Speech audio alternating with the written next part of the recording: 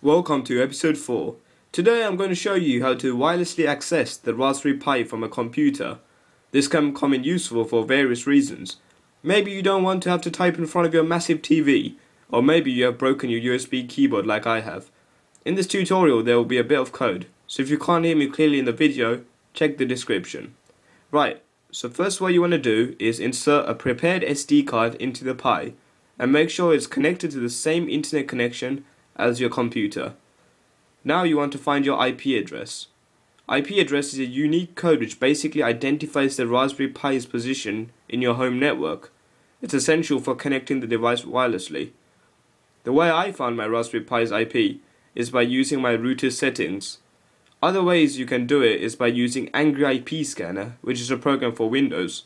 Or you can hook your Pi up to a screen, log in, and then type in sudo IP addr the number will look like look something like 192.168. something. Here's the bit you can optionally skip. If you have a screen and a keyboard, then you may skip this bit.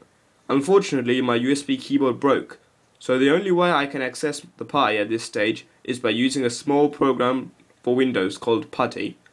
So I open PuTTY, enter my IP address, and then log in. By the way, login credentials are usually found on your distribution's website.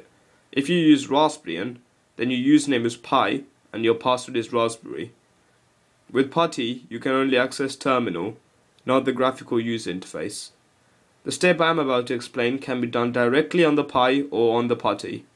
After logging in, type in the type in terminal sudo apt-get install tightvncserver.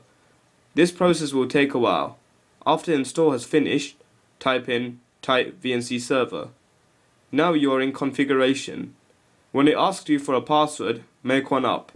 It will ask you if you want to make a view-only password. Type N for no.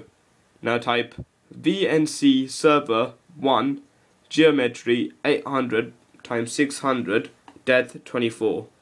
So what you're doing is letting your computer access the Raspberry Pi in a window size of 800 by 600 with a color depth of 24.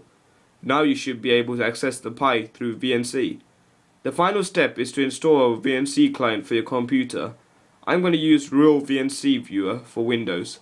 Simply enter the Pi's IP address and the password you entered before and there you go. Something I'm probably going to consider in the future is configuring port forwarding on my router. Then I can access the Raspberry Pi from any computer with internet in the world. Thanks for watching. If this helped you, then please do press the green hands up and subscribe button below the video for more fun.